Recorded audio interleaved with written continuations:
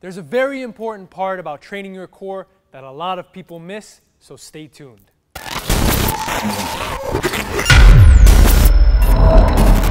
Zach here, and in this video, we're gonna be talking about how to train your inner core. Specifically, a very important muscle that is often neglected called your transverse abdominis.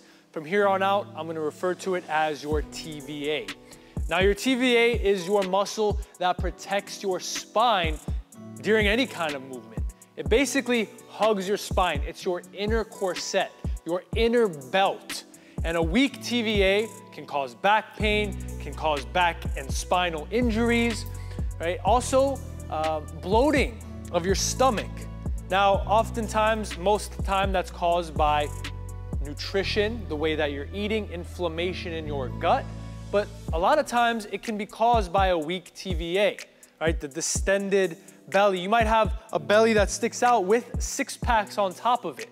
And that could be caused from a weak transverse abdominis, a weak TVA. So this is extremely important in looking better, but more importantly, in keeping your spine healthy.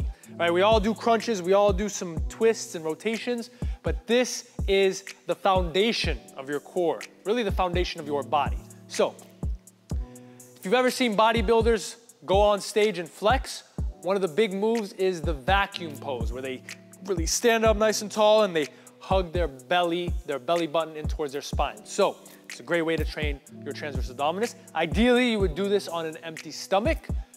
First, we're gonna do it standing, easiest version. So what you're gonna do, full exhale. Let all the air out of your lungs. From here, stand up nice and tall, and I want you to try to hug your belly button towards your spine. So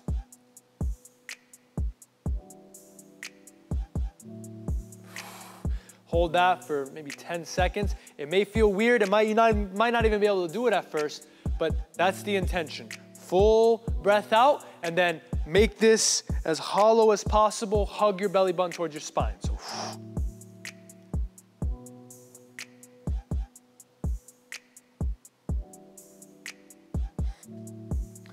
So that's your transverse abdominis. That's your inner belt, your inner corset.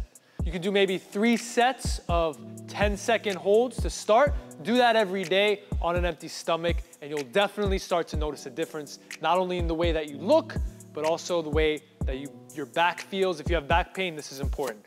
Once you get that down, we can add some resistance to it in the form of your organs.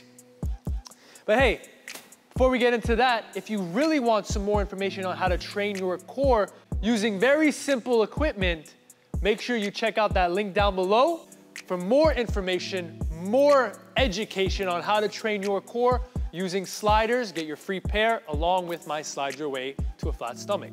So, we're gonna come down into tabletop, all fours, right?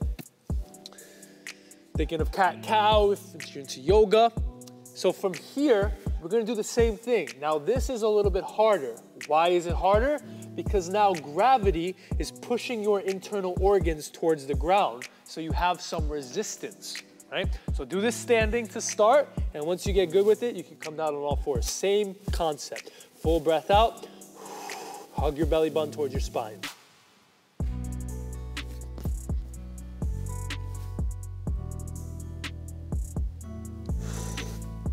Shoot for three sets, 10 second holds, and that should be good. If you do that every day, you'll definitely start to notice a difference. Now, final exercise I'm gonna show you. It has many different names. I don't know, I'm just gonna call it kettlebell on the belly.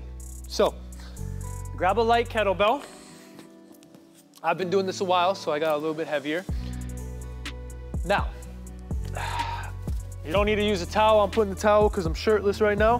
What you're gonna do is you're gonna put the kettlebell on your belly. Make sure you don't put it on the xiphoid process, which is a little divot, a little bony part at the bottom of your ribs. Make sure it's on your belly.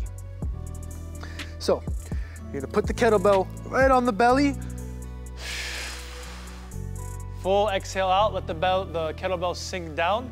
And then from here, you're gonna take a breath in. I want you to try to get the kettlebell up to the ceiling as best you can. So get the kettlebell and then hold, five seconds, and then let it sink back down. If you have high blood pressure, glaucoma, any of those issues, then ask your doctor before doing this. I have to say that. Again, let the kettlebell sink down. Better to do this on an empty stomach. And then breath in. Kettlebell up to the ceiling and then hold. Try not to create too much pressure in the head and the face. We're not doing the Valsalva maneuver here. And then let it sink down. Hold.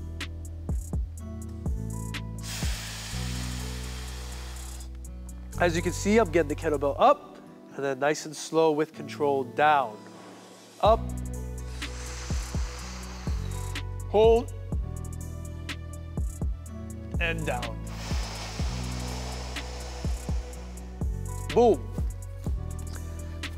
Try those three exercises out, starting with the standing vacuums, going on to the kneeling, the four point vacuums with the organs as your resistance, and then you can try out this kettlebell. Just be careful. Again, high blood pressure, glaucoma, don't do it. Make sure you check out that link down below. Learn how you can fully develop your abs, your rectus abdominis, your six pack, your obliques using only sliders. As always, I'm Coach Zach, and I'll see you next time. Yeah.